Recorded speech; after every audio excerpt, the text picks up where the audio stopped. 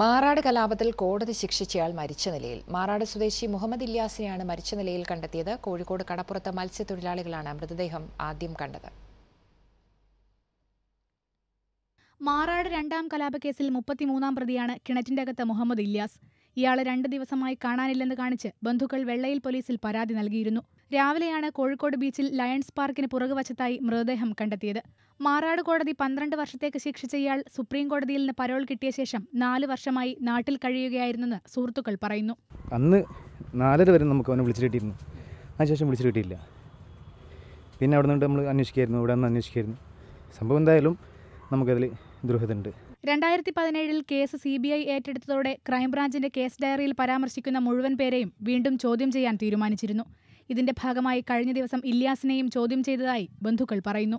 ആ ചെറിയൊരു ടെൻഷനായി സി ബി അന്വേഷണം നടന്നതിന്റെ ശേഷം മനസ്സിലൊരു പ്രയാസവും കാര്യമൊക്കെ ഉണ്ട്. പിന്നെ ആൾ ചോദിച്ചാൽ എന്താ എന്താ ഏതാന്ന് ചോദിച്ചാൽ അത് പിന്നെ പറയാ പിന്നെ പറയാന്ന് പറഞ്ഞാണ് നടന്നത്. അതേസമയം കഴുത്തിൽ ഭാരം കൂടിയ കല്ല് കെട്ടിയ നിലയിലാണ് മൃതദേഹം കണ്ടെത്തിയത്. കൊലപാതകമാണോ എന്ന് സംശയിക്കുന്നതായി പോലീസ് പറഞ്ഞു. സംഭവത്തിൽ ഉടൻ അന്വേഷണം തുടങ്ങുമെന്നും വെള്ളയിൽ പോലീസ് അറിയിച്ചു.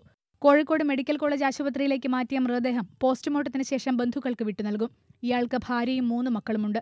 ഏഷ്യാനെറ്റ് ന്യൂസ് കോഴിക്കോട്.